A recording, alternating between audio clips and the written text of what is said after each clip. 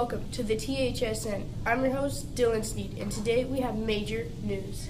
Now, reports are telling me that Demetrius v. Lysander are going at it with a rap battle. My snitches tell me it's over a trap queen named Helena. Now, it's happening in the deep depths of Chicago. Now to Jill for the live news. We're here live in the deep depths of Chicago with two road gangsters going at, going at it over a trap queen named Helena. We're here to interview these two gangsters and hear their stories. Demetrius, what are you two fighting over exactly anyway? You see, Lysander is trying to come up and steal my girl. How do you feel about Demetrius, Lysander? I'm gonna beat the brakes off this fool. What is the current situation in Hermia and Helena?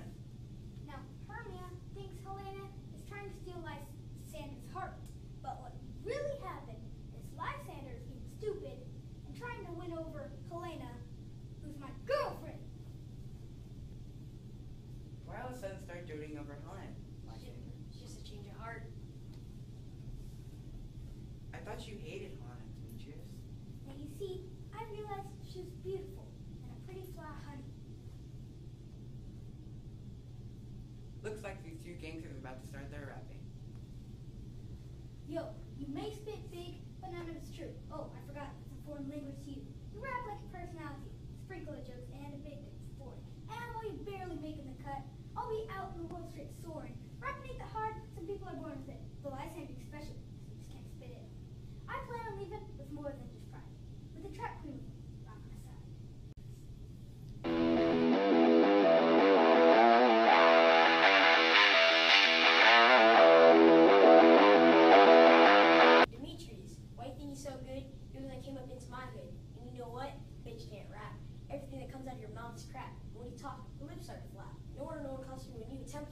How do you always get lost? Look at that big head of yours you have on the store map.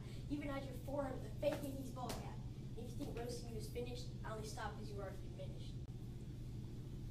So, after a long, fiery battle, these two flames need to be extinguished with a good night's rest. Let's just sleep on it. Now, back to the studio. That rap battle was nothing short of breathtaking. Now, reports are saying that these two were drugged. Apparently, Lysander is now over Helena and oh, and now on to Hermia. I don't know, this is so confusing, but what's not confusing is how much time we have left. This ends our Midsummer Night's Dream.